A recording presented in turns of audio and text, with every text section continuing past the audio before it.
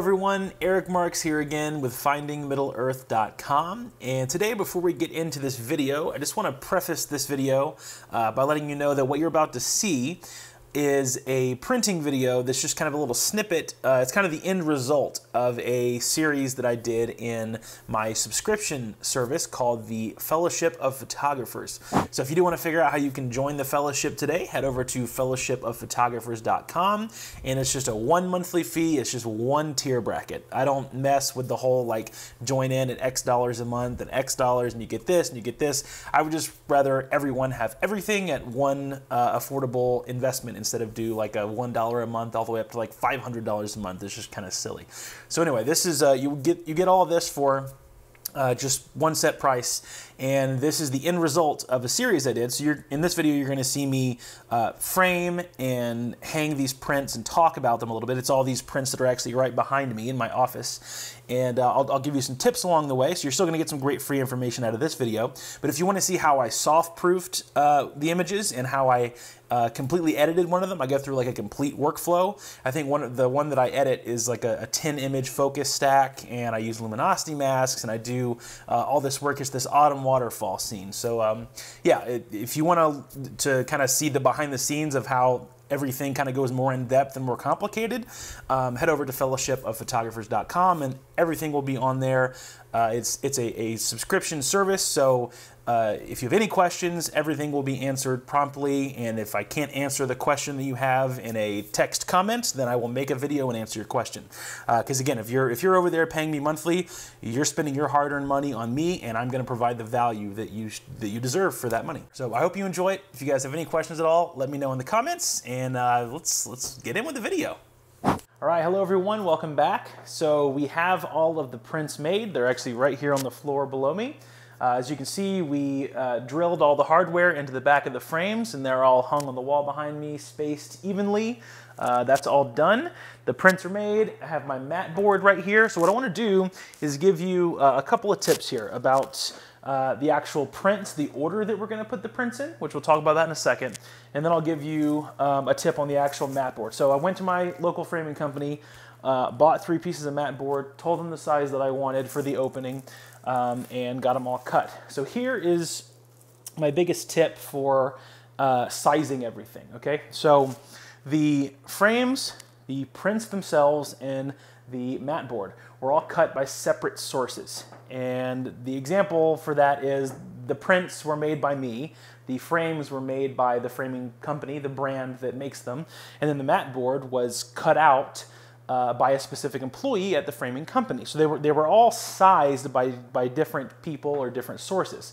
And when that happens, there's always chance for a small margin of error. Even if it's just something like an eighth of an inch, there could, there could be just a little bit of a shift there in size. So I try not to make the print the exact size that I tell the framing company to make the mat board opening. So let me give you a good example. The printer paper that I am printing on is 17 by 22. Okay, that's the full size of the paper. The mat board opening that I told the framing company I wanted is 16 and a half by 21 and a half. So I gave myself a half an inch of playroom on either side where there's going to be a half an inch of mat board covering that print. So here, so you're probably thinking, wow, why would you, you know, if if the size, you know, if the size is correct, then you're basically cropping a half an inch off of your print all the way around. So it's not true. What I did with the paper, which I'll show you here, just one second. All right, here we go. Sorry, I wanted to actually be able to hold the print so I could show you. So you can see there's a very small white border all the way around this print. It's a 17 by 22 print, but I told the Epson software to print the actual ink at 16 and 3 quarters inch, so 16.75 by 21.75. So all the way around, even though this is a half an inch margin of error for opening, I cut it down even further by making this a 16.75 by 21.75. And that basically gives me this slim little white border to play for error. And the reason I do that is because if there is an actual error and the whiteboard is showing, the little white border here, I have a, a, precision paper trimmer right behind the camera that I can go and slice little bits off. But that way it kind of saves me because if it is the perfect size, that's fine, then I'll just cut this down and still tape it to the back of the mat board. But if there's a little bit of variation there and the size is not 100% to the millimeter correct, well then I've given myself a half an inch on the mat board opening and uh, another little bit uh, another, what, quarter of an inch here to play with on the border all the way around the print of the paper. So anyway, that's just a, a tip there when all the uh, the frame, the print, and the mat board are all being done by different sources. You'll typically want to do it this way just to save yourself the trouble of having to make a reprint if the mat board's too big and it shows you know the back of the frame and the paper doesn't fit. Is lots of things that can happen. Basically make sure that you always go a little bit further in on your mat board than you think you need so that just in case uh, the person that cutting the mat board or the frame or whatever is messed up you just you just have some playroom there. Okay?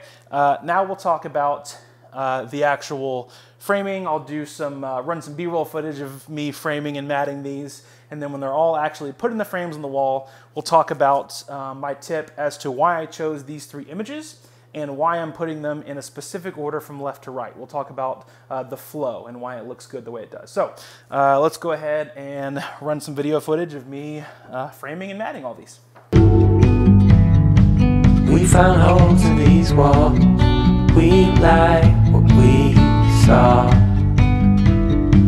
Seems so strong until it falls the final straw.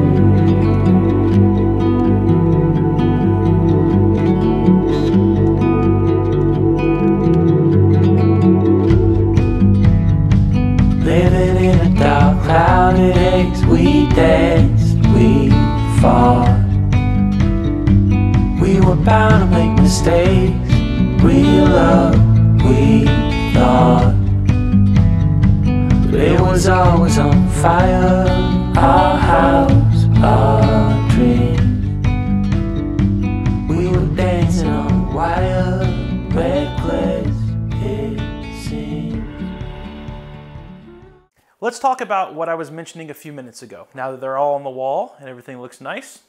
Uh, by the way, this is so rewarding. I love being able to make my own prints, uh, especially at this size, and uh, mat everything myself and frame it. It's not easy. It's not for the faint of heart at all. Probably wouldn't recommend doing the whole thing by yourself. Just the printing is fine, but the whole matting and framing, uh, if you can find a good price, do that. But I have a really nice uh, guy that owns a framing company not far from my house, so I can always get pretty cheap mat board and frames from him.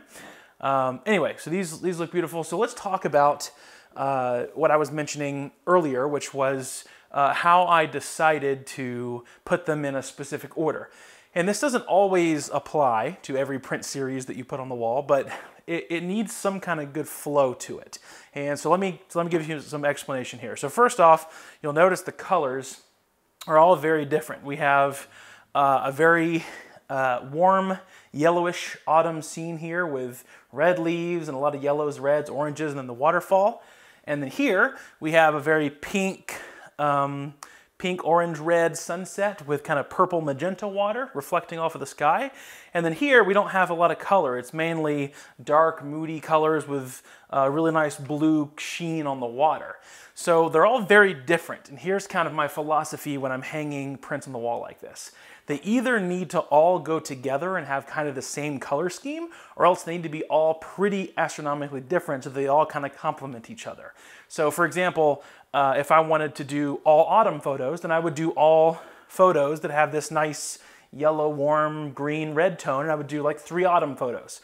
Or maybe I'll do three sunset photos that have the same pink and red tones. And then of course down here, maybe I would do three kind of desaturated moody photos that have these nice moody rain clouds and this stormy sky uh, with very subdued colors. So you, you want to kind of keep them in a flow. And if, you, if you're not doing all the same colors, then again, I think they need to be very different so they all kind of pop on their own. Now here is uh, how I chose the order. Okay, and this, this is kind of important because you want there to be a flow when you have images that are uh, going to be right next to each other. And the flow here, at least my idea behind this, is this. Let me get over here so you can see this photo. So this print is just a simple waterfall scene, but it does have a flow to it, no pun intended because of the water. Um, but the waterfall flows from the middle of the frame and it very clearly and obviously leads right off the frame. So for example, if I would have put this photo on this end down here uh, by this print where there's no other photo beside it where it just leads off to the wall, then when you're looking at this print, your eye is going to notice all this, and the leading line of the water is going to lead you right into the blank wall. And that's that's just not good with me as a photographer. I don't like anyone to be led right off the wall unless it's one big centerpiece. Um, but when there's multiple photos, I want you to notice this. So this print here leads you down here to the waterfall. The waterfall streams right off the print, and it leads you into this one where this little puddle right by the lake bed starts right here, literally even in the bottom third, the exact same point where this print leads off. So this leads off the frame and this photo starts in the frame right here where this one left off, takes you right up the middle with this leading line and then into this sunset. But this photo here, this print here, is very dark and moody on the bottom and the sides. I made sure the foreground was very crushed in the shadows, which helps lead it into this print. Let me get my big fat head out of the way. Um, so this print here is very dark. It's almost got a, I think I put a big vignette around this one at some point because it's very dark on the sides and in the corners of the foreground. And so the nice dark shadows here kind of just flow right into the darks here because the sides are both very dark and they don't really distract from one another. So there's not so much of a flow with these two prints, but it's very easy to make your way from this print to this print because this one's super colorful and it's not stealing anything away from that one because that one's not trying to be colorful. It's just moody and dramatic on its own. And when you finally get done appreciating the colors in this one, you get down to the shadows and all the darks kind of lead you and pick up right into here. Because this photo is naturally dark and moody and uh, subdued with the colors and desaturated and it's just it's great on its own and it doesn't lead you anywhere. This photo does not have any leading lines that lead you off of the frame. It simply has a beautiful, majestic waterfall that leads you right down in the center, and then you eventually notice the rocks, and things just all basically bend in from the sides and lead you into the waterfall. Nothing leads you off the frame to the wall. So that's kind of my idea behind the flow uh, with all these. Again, waterfall leads you right off the frame, picks you up right here, leads you into the sunset. Very dark shadows, very dark here. Everything leads inward, center to the waterfall, and then everything else is just uh, bonus colors and little details that you can see if you get up nice and close. Super sharp. Uh, by the way, all these photos were taken with, well, these two photos on the end were taken with the D850, and then this photo in the center was taken with my Nikon D810. So all of them with uh, D800 series Nikon cameras. Those are my favorite, as you know, and I'm happy with the result. I'm gonna like that. It's gonna make a nice background uh, for a lot of my videos now. I just gotta clean my office up a bit and uh, yeah, I'm excited. Thank you guys for sticking around. If you have any questions about the print process or uh, anything else, framing, matting, all the, that good stuff, soft proofing, just let me know. And thank you guys for watching. See you guys in the next one.